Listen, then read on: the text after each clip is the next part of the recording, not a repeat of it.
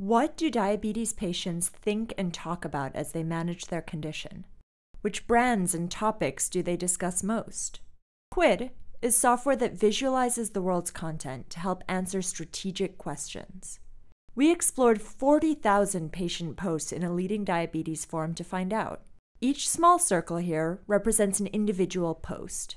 Quid reads and clusters them together by theme for quick understanding.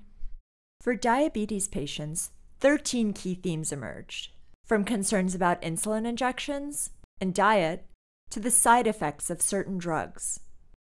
In the software, we also aggregated the data to reveal which brands and drugs diabetes patients discuss. When we colored the data by sentiment, we found that patients struggle with issues like cardiovascular problems and hypoglycemia. We've prepared a full report about diabetes that looks at all of this more in depth. To see the report, please get in touch.